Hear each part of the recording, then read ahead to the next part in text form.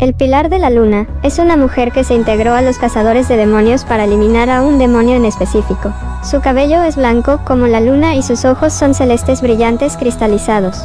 Tiene una muy buena relación con Tanjiro por ayudarlo cuando Nezuko estaba muy mal, y desde ese entonces se lleva bien con el joven Kamado. El demonio que quiere eliminar es uno con apariencia femenina, y la razón de su odio es porque